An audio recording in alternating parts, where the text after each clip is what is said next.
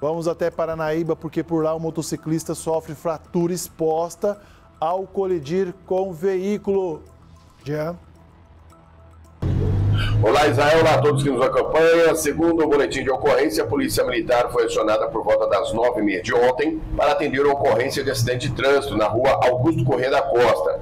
No local, os agentes foram informados pelo homem de 55 anos, condutor de caminhonete Dodge Ram 2500, e disse que realizava manobra de marcha ré e, ao sair de sua residência, veio a colidir com a motocicleta Honda CG 150 Titan, a qual era conduzida pela vítima, um homem de 30 anos, que trafegava pela Avenida Augusto Correia da Costa no sentido bairro Centro. Do acidente não resultou danos materiais nos veículos, porém, o motociclista foi socorrido pela equipe de Corpo de Bombeiros encaminhado até a Santa Casa, o qual teve uma fratura exposta na perna direita e permaneceu internado para os cuidados médicos. De Paranaíba, Jean Martins.